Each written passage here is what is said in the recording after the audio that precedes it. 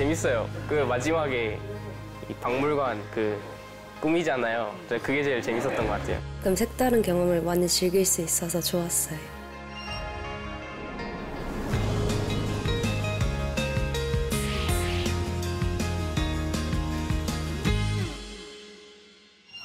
자, 이제 발굴 현장까지 갔나요?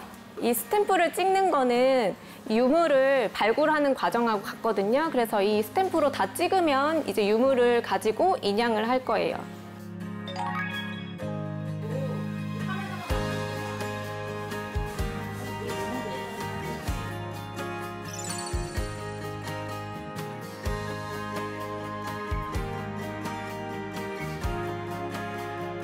찾아가는 청소년 마린스쿨이라고 해서 국립 해양유산연구소에서 근무하고 있는 이제 다양한 학예 연구사들의 직업을 간접적으로나마 체험할 수 있게 한 진로 체험 교육 프로그램입니다.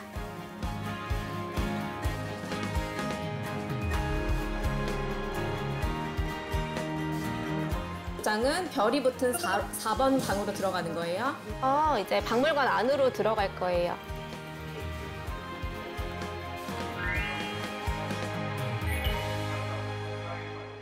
네, 현재 잠수사가 유물을 발견했다고 해서 앞에 보이는 이런 카- 수중 카메라를 가지고 어, 수중 발굴을 담당한 학예 연구사 그리고 보존 처리를 하는 학예 연구사 그리고 전시 기획을 하는 학예 연구사 이렇게 세 명을 좀 뽑아서 한 10분 정도 되는 영상을 보여주고 어, 그 그리고 나서 이제 메타버스 잽이라고 하는 플랫폼에 구현된 국립해양유산연구소의 이제 메타버스 공간에 들어가서 어, 수중 발굴 현장을 체험해보고 자기만의 전시를 기획해보는 그런 프로그램 두 가지를 진행을 했습니다.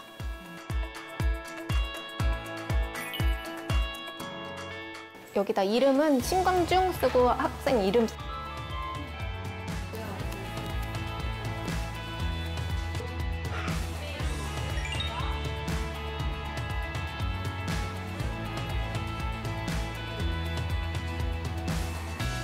어, 우선은 다양한 문화유산을 알 수 있어서 좋았고 나만의 박물관을 꾸밀 수 있어서 내 색다른 경험이었고 직업에 대해서도 알게 되어가지고 나중에 진로를 정할 때 도움이 될 것 같아요.